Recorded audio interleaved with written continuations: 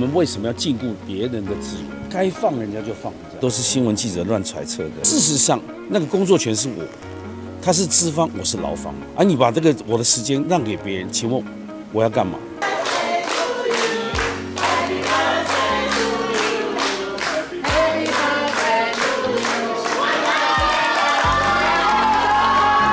谢谢 TVS 对我们节目的支持啊，让我们全体一心上下哦，一致的努力迈向前进。希望收视除了稳定之外，还要向前挺进。我绝对会有神神秘惊喜跟着大家。啊，这个这个速度会来的很快，你要想清楚。一一点五二我都想好了。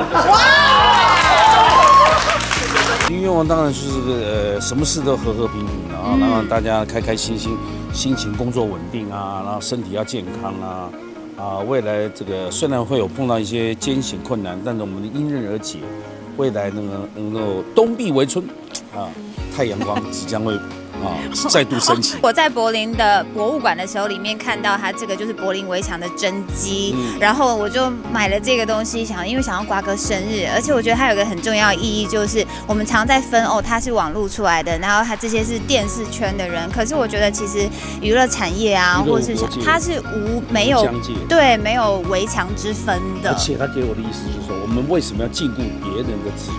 嗯，该放人家就放。对，你不应该。好嘞，又不给人家。好了，我觉得这个是他送我的我没有想到这一块啊。他其实没有从外界所讲的一大堆有的没有，都是新闻记者乱揣测的。因为所有的所有那个数字都不符合嘛，而且根本就还没开始，现在只是现在只是走向调停嘛。这种这种东西，我们只是提出我们的工作权，提出我们的工作权跟合约权。然后呢，接下来法院一定是要交代两边坐下来谈嘛，这是程序嘛。所以没有这些程序之前，哪来的那些？那不是记者乱写谁写的呢？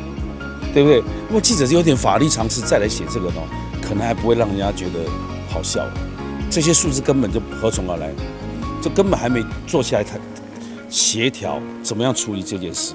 但事实上，那个工作权是我，他是资方，我是劳方，就这么简单。而你把这个我的时间让给别人，请问我要干嘛？就就是这个问题，就这问题点症结点就在这里而已。他去做他的节目跟我是无关的嘛？